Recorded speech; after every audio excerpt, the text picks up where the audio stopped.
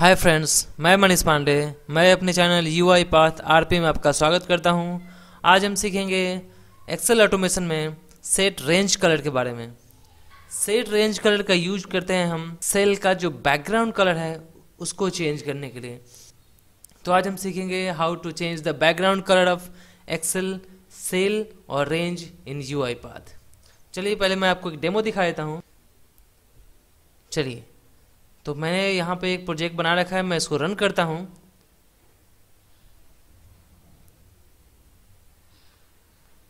तो ये क्या करेगा? एक्सेल फ़ाइल ओपन करेगा और जो हमने रेंज वहाँ पे डाला हुआ है like A one to G one तो वो हमने A one to G one सिर्फ़ हेडिंग के लिए डाल रखा है। यहाँ पे आप देख सकते हैं, यहाँ पे कलर हो गया है।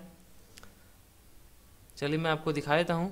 फ़ाइल को ओपन करके, जिस पे मैंने कलर अप्लाई किया है। तो आपने अभी देखा, पहले यहाँ पे कोई कलर नहीं था।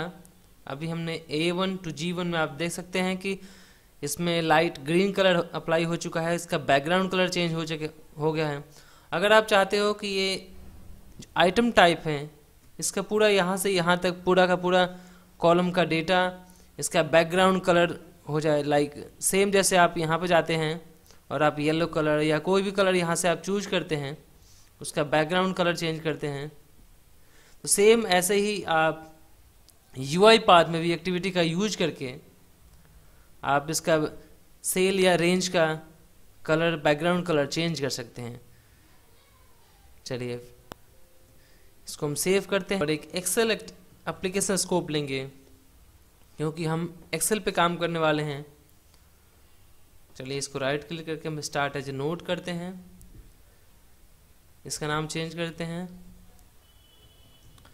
Fill cell colour. यहाँ पे आपको एक्सेल फ़ाइल का पाथ देना है, फुल पाथ। चलिए इसको हम सेलेक्ट करते हैं, फिल एक्सेल सेल कलर।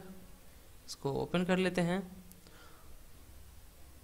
तो जिस एक्सेल फ़ाइल पे आपको काम करना है, जिसमें कलर आपको चेंज करना है, वो उस फ़ाइल को यहाँ पे एक्सेल अप्लीकेशन स्कोप का यूज़ करके आपको वहाँ पे इसका सेलेक्ट कर लेना है। जो नेक्स्ट है, अब हमें उस एक्सेल फ़ाइल में जो डेटा है like A one to G one उसका बैकग्राउंड कलर चेंज करना है। तो कलर चेंज करने के लिए यू आई पाथ में एक एक्टिविटी है सेट रेंज कलर चलिए इसको हम ड्रैग एंड ड्रॉप करते हैं, यहाँ रखते हैं।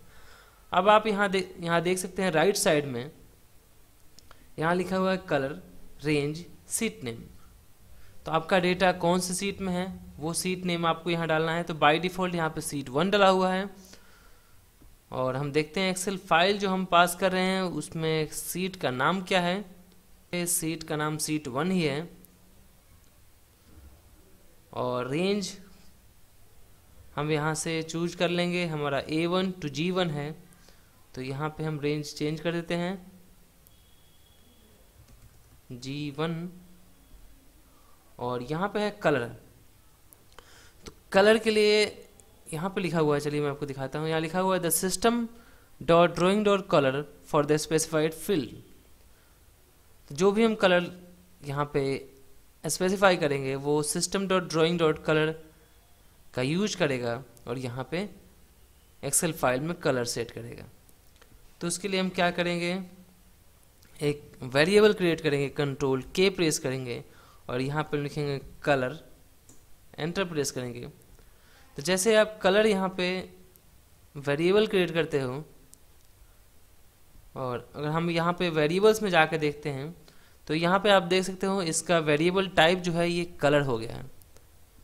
आपने देखा यहाँ variable type system dot drawing dot colour है। अब हमें क्या करना है? ये देखना है कि एक्सेल फ़ाइल में जो हमें कलर अप्लाई करना है वो क्या है। तो मान लीजिए हमें लाइट ब्लू कलर करना है तो हमें क्या करना पड़ेगा? यहाँ पे कलर में जाके लास्ट में, या मैं आपको बताता हूँ सही से, इस पर क्लिक करना है, और यहाँ पे आपको लिखना है कलर डॉट जैसे आप डॉट करोगे, यहाँ पे लिस्ट ऑफ़ कलर का नाम यहाँ पे आ जाएगा। ठीक है? तो हमें यहाँ पे चाहिए कलर लाइट ब्लू कलर चलिए। ऐसे आपको सेलेक्ट कर लेना है कलर डॉट लाइट ब्लू और ओके प्रेस कर देना है। अब इसको हम रन कर सकते हैं। चलिए रन करते हैं। अभी यहाँ पे लाइट ग्रीन कलर अप्लाई है इस सीट पे। चलिए अब हम देखते हैं। यहाँ पे आपने देखा, अभी इसका कलर लाइट ब्लू कलर हो गया। अगर आप चाहते हैं, यहाँ एक्सेल फ़ाइल में कंट्री जो B1 से B23 तक का डेटा का जो बैकग्राउंड कलर है ग्रीन कलर में हो जाए। चलिए, यहाँ पे हम जाते हैं रेंज सिलेक्ट करते हैं। B1 to B23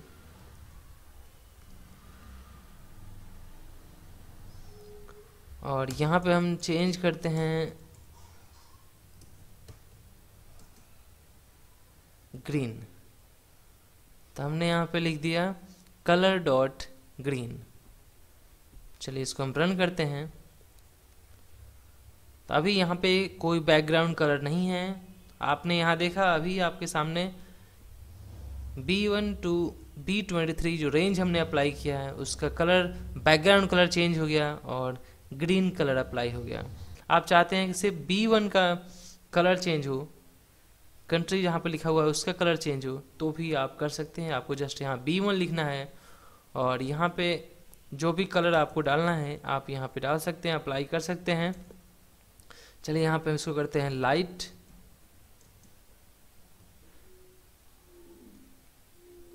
light pink करते हैं। चलिए, और ओके करते हैं।